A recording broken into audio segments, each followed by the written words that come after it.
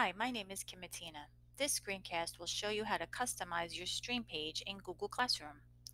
So after you log into your Google for Education account and go to classroom.google.com, you will come to the stream page.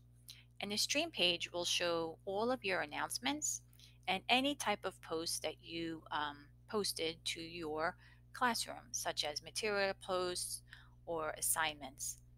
Um, and this stream page can be very um, unorganized and it can tend to be long. So I'm going to show you how to organize it so that we can uh, condense it a little bit. So if I click on the settings icon at the top right to go into class settings and in the general section, there's an option here that says classwork on the stream.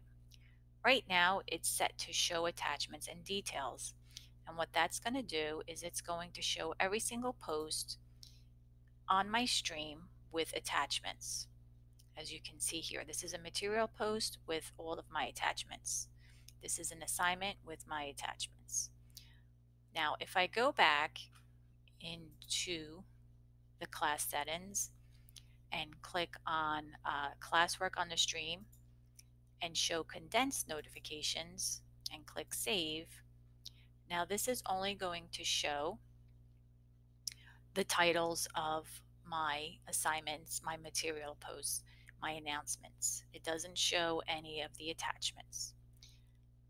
Now the last option that you have is to hide the notifications.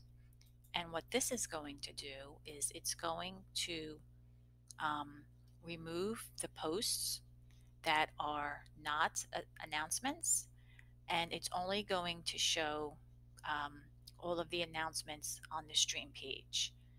So all of these posts here that you're seeing with attachments, these are all announcements that I had created. And you can see that on this view right now, there are no uh, uh, uh assignments or material posts or question posts. So I hope you found that screencast helpful.